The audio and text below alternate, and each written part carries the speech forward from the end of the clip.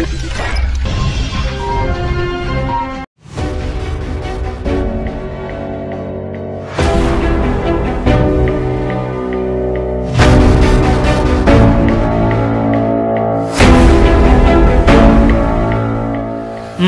को जींद में कार्यकर्ताओं की एक बैठक को संबोधित करते हुए अजय सिंह चौटाला ने उनकी हौसला अफजाई की और यह भी कहा कि जल्द ही और भी बड़े चेहरे जेजीपी में शामिल होंगे। इससे पूर्व उन्होंने प्रेस के संबोधन में पूर्व आईपीएस अधिकारी रणवीर शर्मा का परिचय करवाया। याद रहे कि रणवीर शर्मा ने आईजी रहते हुए नौकरी से इस्तीफा देकर राष्ट्रीय लोक स्वराज पार्टी का गठन कर लिया था।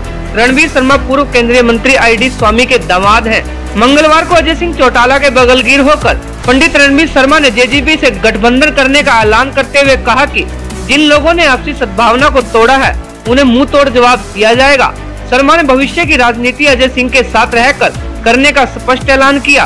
राष्ट्रीय लोक स्वराज पार्टी ने ताऊ देवीलाल के लोक राज को सामने रखते हुए लोक स्वराज पार्टी तैयार की थी और आज जिन लोगों ने हमारी भाईचारे की सद्भावना को खराब किया है, सामाजिक सद्भावना को दोबारा तैयार करने के लिए हम और अजय भाई साहब इकट्ठे हुए हैं।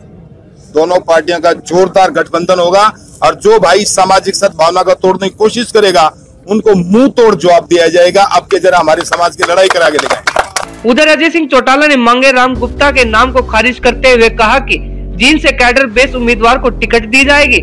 उन्होंने दिग्विजय के नाम पर दार्शनिक अंदाज में कहा कि संभावनाएँ तो बनी ही रहती हैं। हालाँकि मंगलवार देर रात तक बुधवार तक जेजेपी अपना उम्मीदवार घोषित कर देगी।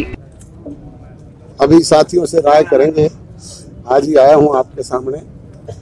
कमेटी ने जायजा लिया है उनसे राय करके फिर डिसाइड वैसे अभी आपने कहा कि भाई दूसरी दलों में प्रत्याशी खोज रहे हैं ना राष्ट्रीय पार्टी भी दूसरे आपकी पार्टी ने भी सर्च की है कहीं दूसरे पैराट्रूपर्स आपकी पार्टी ने भी सर्च नहीं नहीं हमने तो कोई पैराट्रूपर सुशील जी माधराम के घर गए घर जाना एक अलग बात है।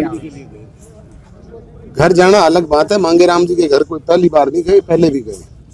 पर हमने प्रत्याशी के तौर पे उनको ना उनका चयन किया ना उनको कहा। तो आप मानते हैं कि आपकी कैडर का ही कोई हाँ हाँ बिल्कुल कैडर का। ऊपर नहीं होगा? नहीं होगा बिल्कुल मैं पहला सेंटेंस यही कहा है मैंने तो। कैंडिडेट का निर्णय हमारे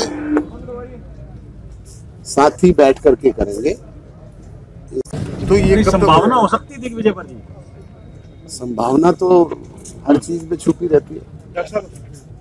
लेकिन तब तक तीर्थार्थियों की धड़कनें तेज रहने की संभावनाएँ बनी रह सकती हैं। जिस प्रकार अजय सिंह के कैडर बेस कैंडिडेट उतारने की बात कही है, उससे दिग्विजय व प्रदीप गिल की उम्मीदवारी के अधिक चांस बनते दिखाई दे रहे हैं। इसके अतिरिक्त जिस प्रकार रणबीर शर्मा ने जेजेपी से सियासी रिश्ते कायम किए हैं, उससे ब्राह्मण मतदाताओं के ध्रुवीकरण भी मुमकिन हो सकेगा, एक बड़ा सवाल है।